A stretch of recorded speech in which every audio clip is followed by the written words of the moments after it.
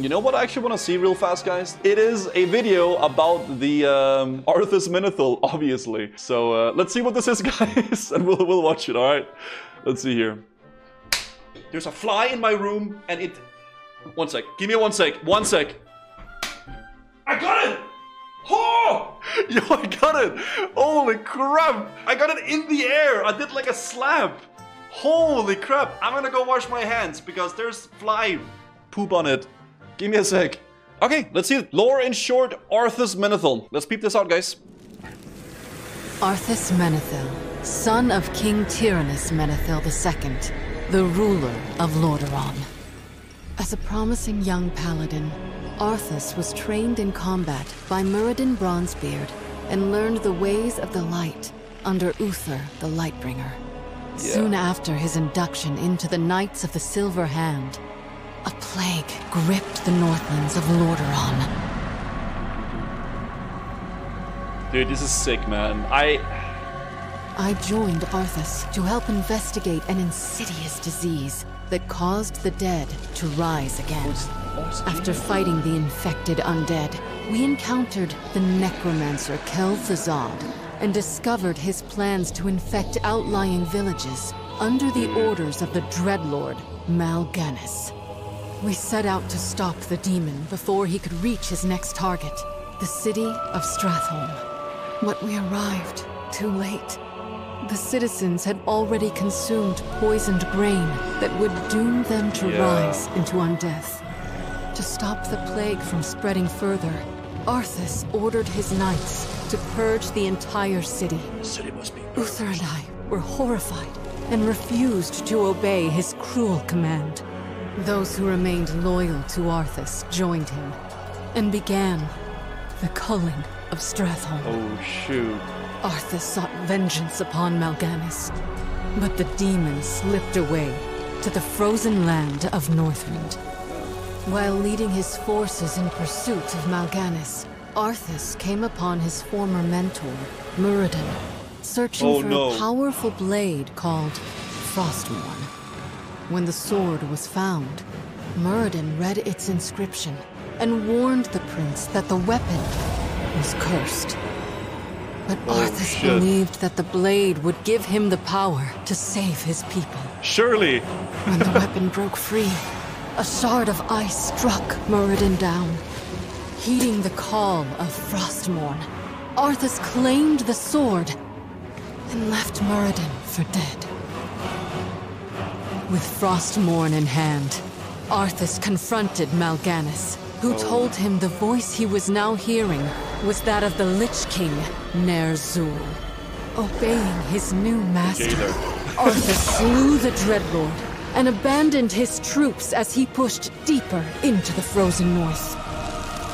When Arthas returned to Lordaeron, the kingdom rejoiced at the homecoming of its beloved prince. Oh no. But that joy turned to ashes when Arthas entered the throne room and ran the accursed blade through his father's heart. Arthas scourged the land in the name of the Lich King Ner'zhul. To reach the throne of his master, Arthas had to face Illidan's yeah. Stormrage. After a grueling battle, the victorious Arthas ascended to the frozen throne. He drove his blade through the ice, releasing the spirit of Ner'zhul from its icy prison. The two beings merged into one and became the true Lich King. Dude. Should he rise again from the frozen north, all of Azeroth will face his wrath.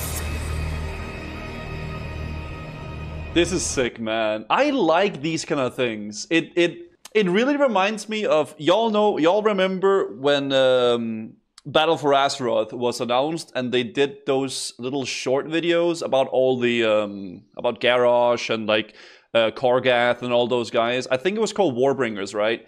That was so good as well. I Okay, BFA, not the greatest of expansions in my opinion. I like the leveling, but those trailers were so good, man. Was that WoD? Oh yeah, that was WoD, not BFA. Sorry, I got the, I got the two confused. I got the two confused. It was Warlords of Draenor. Yeah, exactly, exactly. That was so sick, man. Like, that, that was so awesome. And honestly, I know this is like wishful thinking. It will be so dope. Imagine if Blizzard did like a similar thing to Arcane, okay? Here comes but it did, they did it with like you know Arthas's like his whole story, right? Of him growing up as a paladin, becoming a strong like you know alliance citizen, and then eventually get, getting corrupted and the culling of Stratholme and all those things. It could be so sick. Okay, like in the same kind of style. Um, it doesn't have to be real live action movie, right? Like like with actors and stuff like that. If it was like an animated like like Arcane was, that would be so cool. It would be really cool. I I'm I'm really surprised they haven't capitalized on that. But um, and the thing is, WoW has so much more than just just Arthas too. Like all the the Warbringers trailers, like you could follow like Kargath, or you could follow like a random. There's a lot of things to really capitalize on that, right? I don't know. I think it's cool. I, I think it's cool, and and and Arthas, obviously, for me personally, is like peak WoW, peak peak Warcraft, right? So that story would be definitely be pretty dope. Um, Walker Warbringers when? Oh my god. Um, but yeah, pretty freaking good uh, video, man. I like the fact that they had uh, Jaina like voice acted, which is pretty dope. Nice to hear Jaina telling the story of the man she loved. True, true. What you did to Arthas in Shadowlands is still unfor- unforgivable.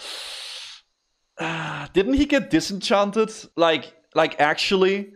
Uh, I feel like some things, man, they should just leave be right? Like Arthas had an amazing story. He had the whole like the whole corruption with Ner'zhul becoming the Lich King and eventually getting defeated, and like you know that's you guys you guys all know the trailer with like my son, you know, and like I see only darkness before my eyes, like all that stuff.